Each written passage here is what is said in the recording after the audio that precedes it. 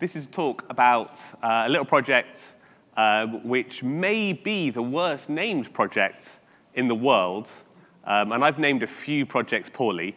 Um, as you will see, um, it's called CF Cubed. And I really hope you could hear that that was spelled with a C and not a K. Uh, because it's a talk about putting Kubernetes behind CF. So, um, there's three of, us that, that, three of us that are going to be talking. Um, unfortunately, uh, two of us are called Jules, which is going to be a problem. Um, so I'm going to talk about what this is and why the hell we did it. Um, I'm Dr. Jules.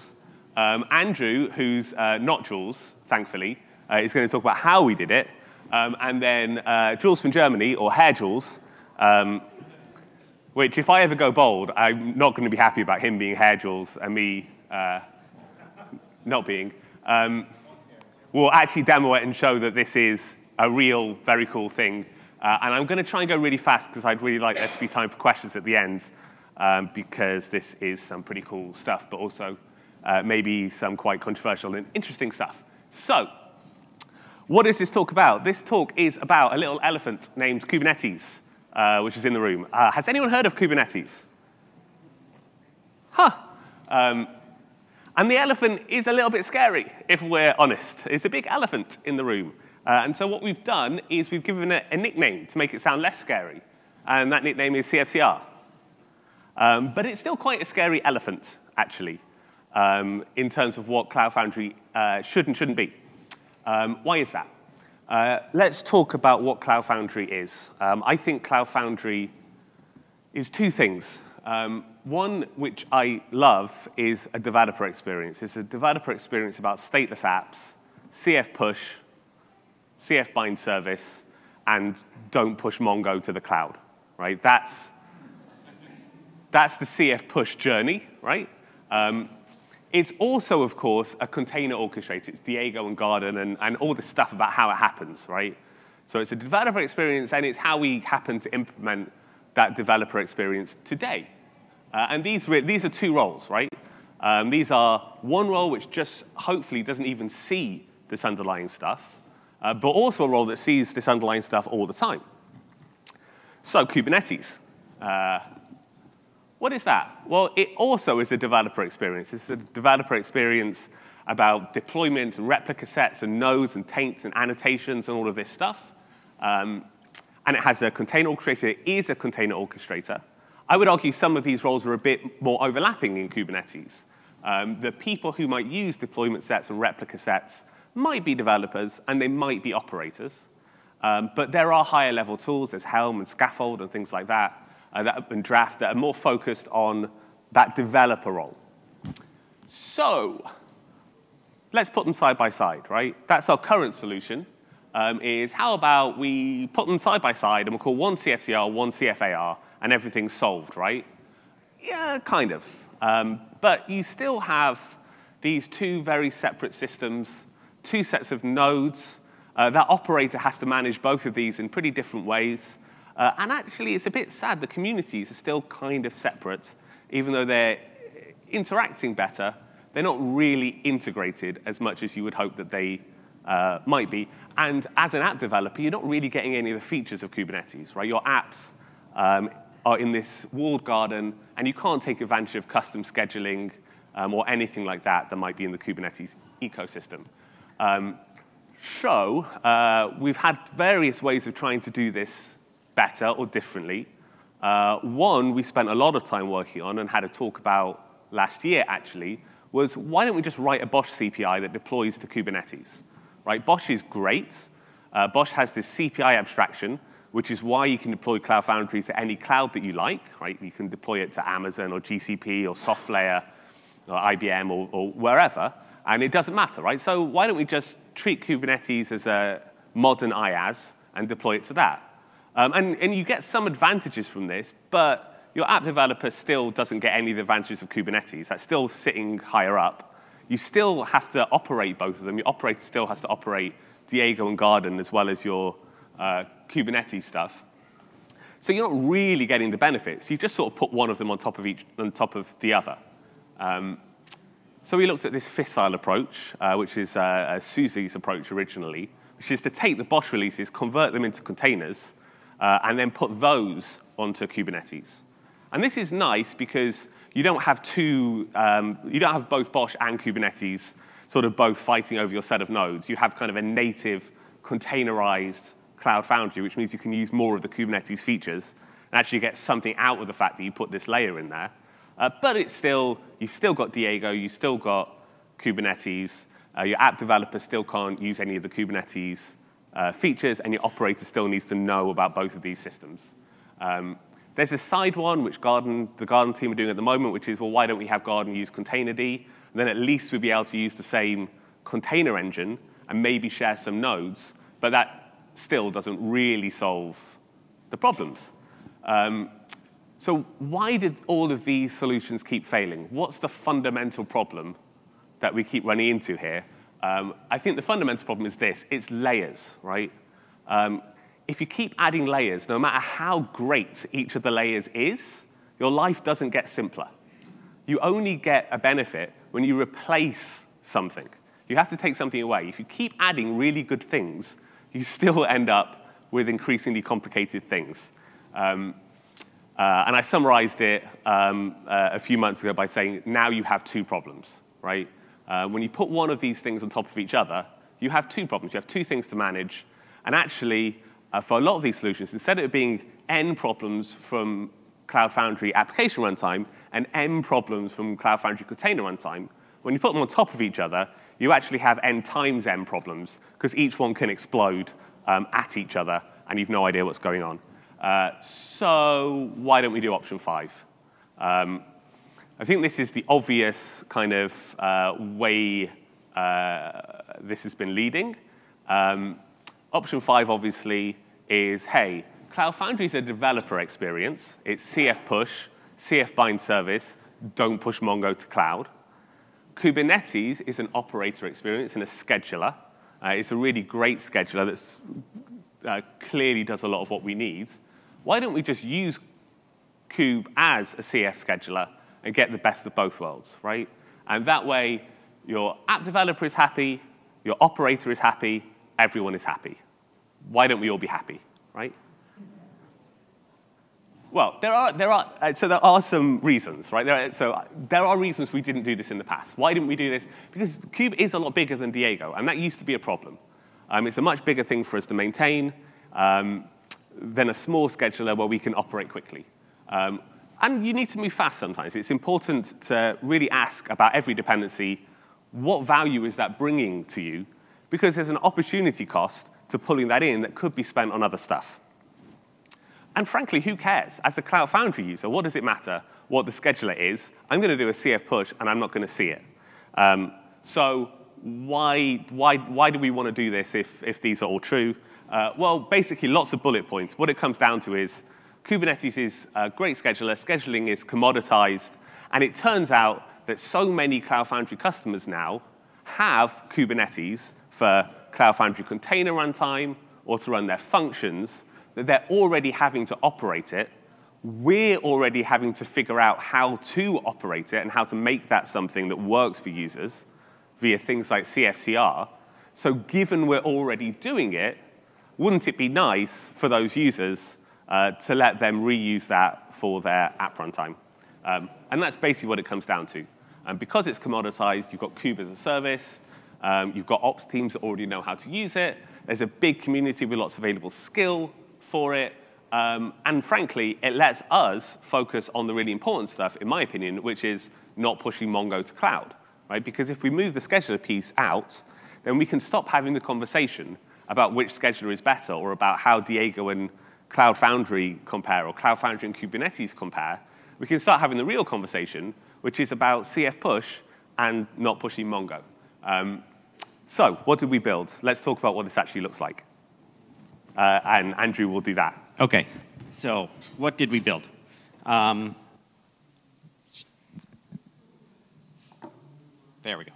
OK. So um, first we'll talk about the, the four main things that we've built, and then we'll talk a little bit about you know what what we need to do more um, and how things are going. So the four things we have is OPI, Um, and I'll talk about each of these individually. Sync, registry, and Stagernetes. I think we're going to call it. It's a good, Second worst name. good name. I think it's a good name. So OPI, and, and basically OPI is, is the main thrust of this uh, proposal and work. It's, it's to provide a, a, an interface, and we called it the orchestrator pro provider interface, which is an abstraction over what goes to the scheduler from, from CF, right? And so it's uh, inspired by Diego's LRPs and tasks, and um, just the, the CPI model, right? So it's the API we will communicate from CF to either Diego or Kubernetes uh, so that you can pick and choose. So next thing is, is sync or sync or another reason Jules is a really bad namer. Um, originally sync uh, from Diego was NSYNC and I think it's because they like Justin Timberlake really a lot. Um, but it's really the, the convergence loop that checks what's in CF and decides what should be in Diego or in the orchestration layer, um, and then make sure that they're in sync, right? So it downloads the stage app as a Docker image, and it creates Kubernetes deployments inside Kubernetes now, right? There's another piece to uh, NSYNC, which is a um, API layer where Cloud Controller will send requests to start and stop tasks and, and, um, and LRPs. That's uh, to be another one of the items that's to be done. Uh, right now, we we are just using the sync loop right now, but it's once we have that, it'd be very easy to implement the, the other two pieces. Okay, so the next thing is a registry. So we implemented a registry that is an OCI registry that vendors um, the images based on the CF droplets and on the uh, cflinuxfs2 base. And it still uses droplets. So we're just you know, generating the droplets that CF uses and be able to uh, create an OCI image from that and then run that inside Kubernetes. And now our favorite name, Stagernetes. Um, it implements staging inside Kubernetes by running a, a job, right? A single one-off task like um, what happens in Diego is we run a task to do the staging, to upload the bits. Um, and it just runs as a one-off staging task. It does full build pack detection, et cetera, just exactly like it's done in, in CF uh, on Diego and then upload, uploads the droplets in through the Cloud Controller API to upload. So that's what we have built so far. So what's next? Well, we still need to build route emitter, um, register the routes, TPS, log streaming, bunch of other stuff. Oh wait, we already built route emitter. Yeah, we did route emitter this about a week ago. Um, so we do have in the demo that uh, that Julian's going to show um, the routes are already registered and, and in the Go router, uh, but we still have TPS, log streaming, et cetera, to be done. So now let's do the demo, because that's way cooler.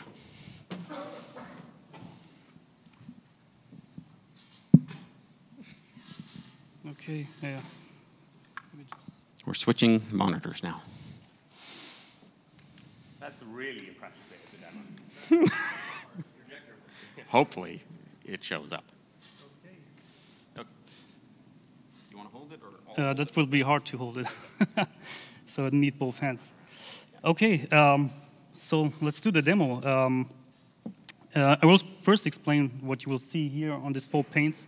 So on the right two panes, I will do a watch on the um, Kubernetes pods and um, a watch on the Kubernetes jobs. So we can see that there are no resources yet. And make the font larger. Uh, larger, I will try it. Um, it was like. Is that better? That's good. Okay. So we're stopped. Okay, and here we will see in the upper left pane, we'll see the CF push, and in the lower left pane, I will show um, the staging logs and also the deployments that are appearing on Kubernetes. So let's just start in CF push Dora to kube. Let's see what happens. So the first thing you see is it's starting creating the app, binding the routes, uploading the app bits. And after it's uploaded, it will start with the staging, and you immediately see that uh, a job and a pod is running on Kubernetes doing the staging. And we will now take a look at the logs if I'm fast enough. Um, kube logs, let's see, uh, with a F. And now we can see, okay, it's already almost through. It's done the staging. Staging is completed. So the next thing that we will see is the deployment appearing in um, kubectl deployment. And there it is already. Um, and the pod is also running. At that point, um, app is deployed to Kubernetes, so it took less than a minute. And we pushed an app to Kubernetes with a CF experience. And now let's just um, curl that app. Uh, that was my test before that one. So called Dora. Hi, I'm Dora. And yeah, that's about it. We just pushed the app to Kubernetes.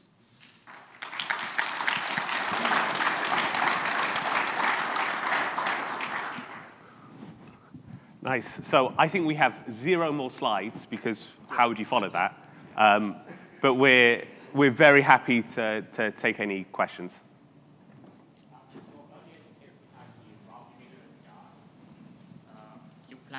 do you plan to add integration into the TCP router or just the Go router?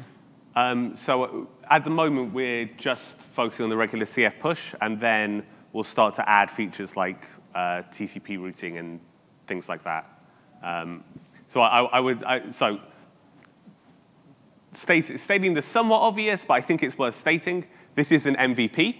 Uh, this is not complete. Uh, and there's a decent amount of work to make this complete. But it does show you that you really can get an end-to-end CF push uh, using this approach. Um, so it, it, it's a proof of concept, and it does prove the concept, but there's going to be a lot of edges that we need to do to, to complete the whole um, of what Diego does for you today. Uh, yeah, so I mean, this is a lot of information to digest, but some of the approaches that you mentioned earlier trying to fit the big elephant into a room. We tried that. Um, but this approach, what I understand, I just want to make sure I understand it correctly. So you're saying basically we, are going to use the kube uh, Kubernetes to replace the Garden C and the Garden container? Is that uh, what? Both Garden and Diego. And Diego is what you're trying to say. Uh, and not replace, I should, uh -huh. so, so it would be an option. So um, it, this is an approach that we've entirely stolen from Docker, right? Mm -hmm. um, lots of people like Swarm, lots of people like Kubernetes, so Docker said, let you pick. Uh, if you've got an investment in Kube, we'll let you use Kube. Okay. If you like the features that Swarm gives you, you can use Swarm. In the same way, I think a lot of people are going to want to stay with Diego mm -hmm. uh, because it gives you this nice integrated all-in-one experience. It's very mm -hmm. simple and it's tailored for stateless apps. Okay. Um, but on the other hand, a lot of people have investments and skills and existing Kubernetes deployments uh, mm-hmm. either for CFCR or mm -hmm. for functions, which are often run on um, a Kubernetes deployment. And for those people, it might well make sense to plug in Kubernetes. So, so it's, not, it's not an either or, mm -hmm. it, is, um, Coexist. it is an abstraction. And I think this is the, this is the benefit of this now being commoditized, mm-hmm. right? Now that scheduling is kind of a commoditized thing, okay. we can give people choice about which one of those to use mm-hmm. um, without really slowing down the higher levels because it's kind of an agreement on what what scheduling looks like.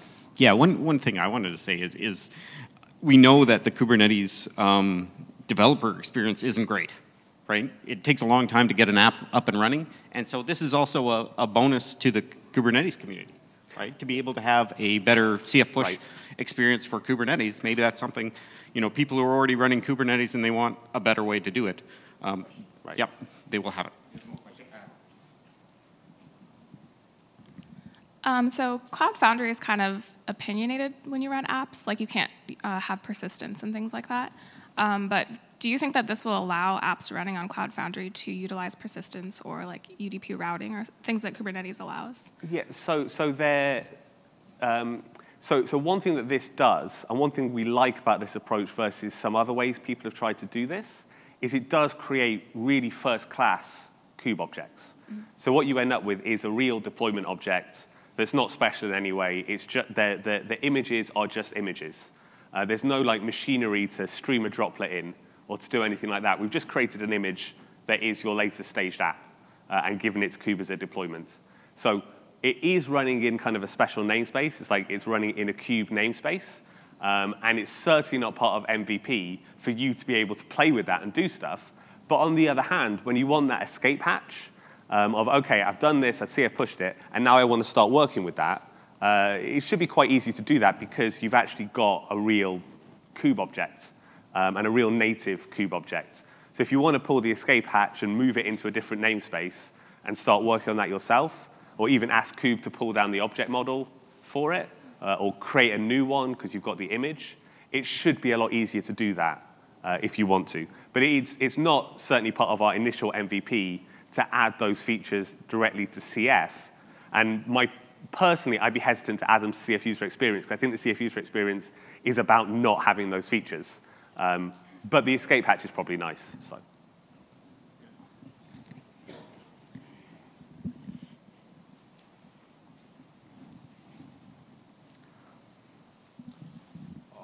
Can you show us what components are running in pods, what Cloud Foundry components? So everything is containerized, right? Uh, so can you show us? Yeah, so, so just, just for ease, uh, most of the co components at the moment are deployed as BOSH jobs. Um, just because that's an easy way of, because BOSH will give you uh, easy ways of linking like the uh, username and passwords that you need for things like Cloud Controller to grab the droplets. Um, all, all the kube stuff runs in CF and then talks into a Kubernetes for the deployments. I think, I think as we do this more for real, um, it might make a lot of sense to do CRDs um, and API um, aggregation for some of these things. So to use Kubernetes for some of these components. But at the moment, we do them within kind of so, as, as BOSH jobs. So we are kind of replacing the CPI as well.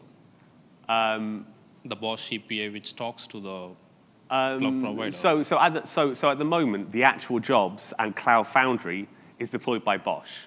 So you have options. You can continue to deploy the Cloud Foundry however you like um, and talk to a Kubernetes, which may be CFCR, maybe something else. Or you can use one of the projects like the Kubernetes CPI or like Fissile so that your Cloud Foundry jobs are also in Kubernetes. So that, that's kind of an orthogonal problem, right? How do you get the Cloud Foundry bits on Kubernetes, and how do you get the apps Cloud Foundry creates on Kubernetes? And we're solving the second problem, and there's quite a few approaches to the first problem, but that's, that's kind of out of scope for us. That's, that's not something we're worried about.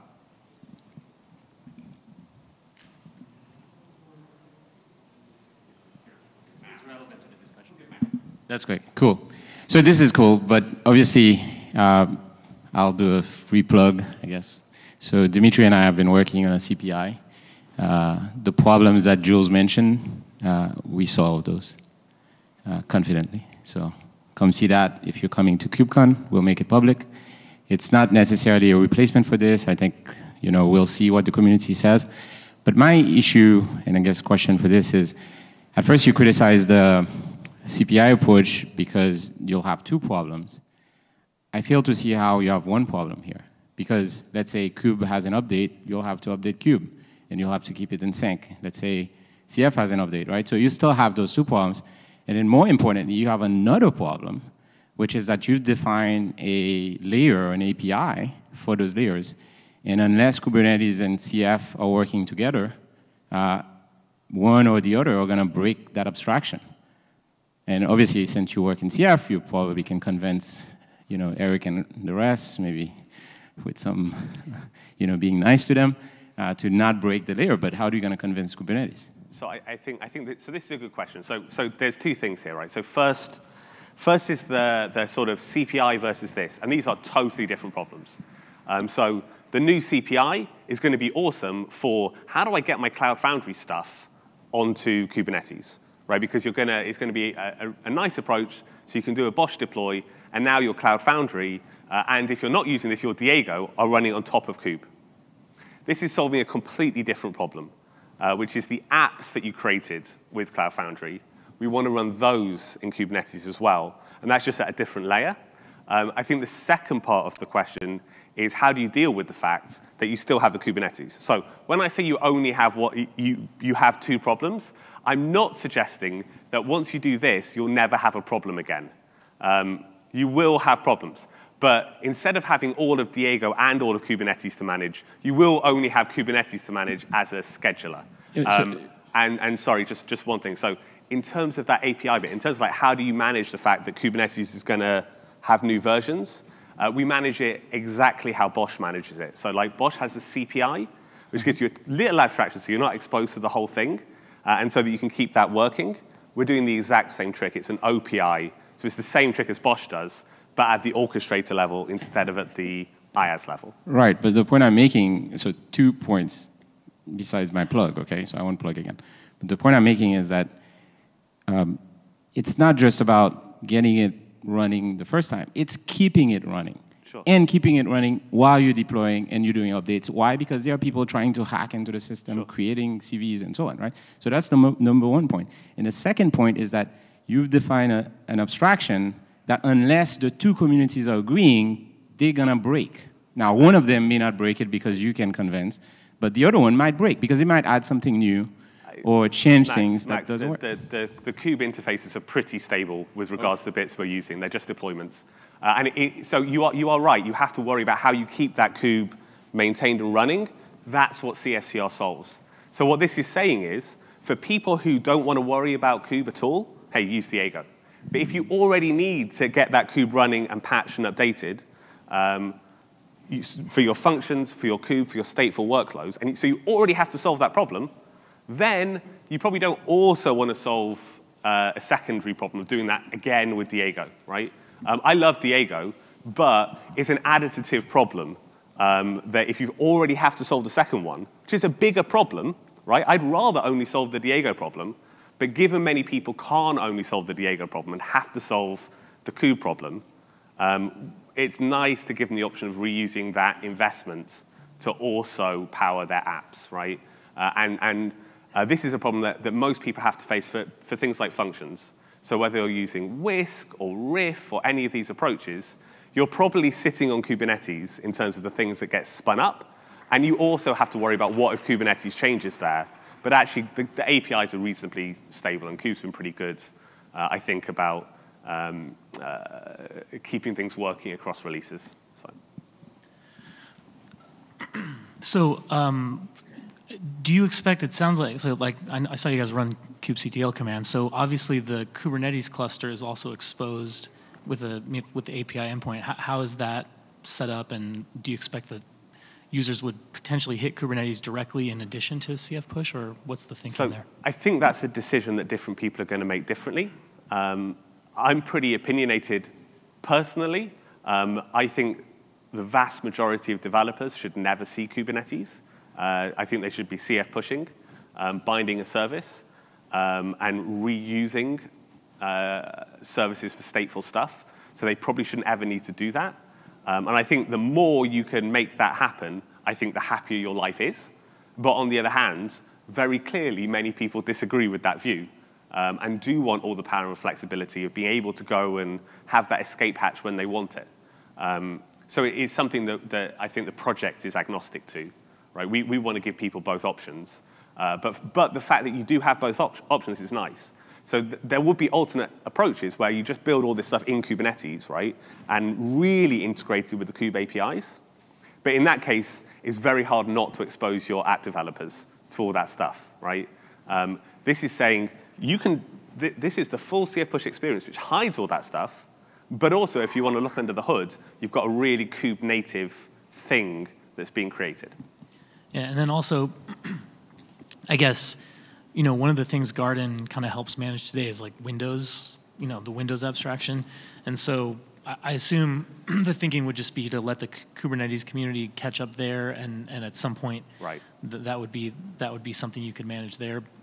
Exactly okay. that. So, so because we've got this, this abstraction, we're not coupling ourselves to Kube, right? We're, we're not saying we're going to make all these Kube abstractions leak up um, because then things like Windows become really hard, right? Because then you, you are locked to Kubernetes because you need all the Kubernetes primitives. You need etcd and all this stuff if you represent that into your API. Um, we're not doing that. We're just saying if you already have a kube investment, uh, in the same way, I guess it's a weird analogy, in the same way today, if you do CF deployment by default, we'll deploy a Postgres database for you, right? But if you've already got a Postgres or a MySQL or, or RDS or some other managed database, you just give us the URL as a property in CF deployment, and we'll use that. It's a very similar thing. There, there, there's a built-in scheduler, which is probably Swarm, but if you've already got CFCR, or you've already got some kube as a service, just give us the URL, give us the API endpoint, give us the credentials, and we can use that instead. Uh, and so on Windows, you just carry on happily using what you have today. Um, as soon as kube catches up on Windows, you have the option of using that on Windows.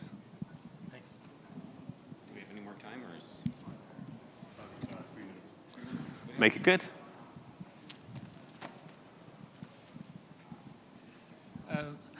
Just quickly, um, you mentioned binding services. Is that supported now? And I guess maybe a broader question, like if I have questions about does this thing support X, do you have a public backlog somewhere?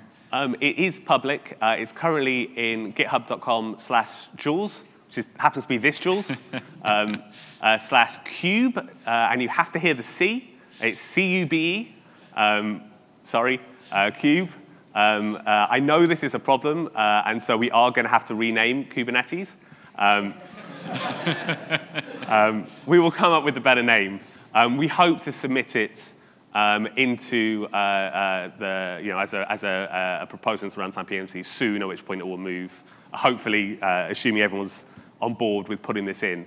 Um, but at the moment, it's there. We have some issues there. I think a lot of this will just work because it's just a case of mapping it into environment variables. Um, but I mean, there's a lot of rough edges, uh, so I, I, doubt it works right now. Uh, contributions welcome. yeah, yeah. Well, I was sort of immediately starting to think about yeah. volume um, services. Uh, contributions there, by the sure way, was spelled with a K. That was contributions.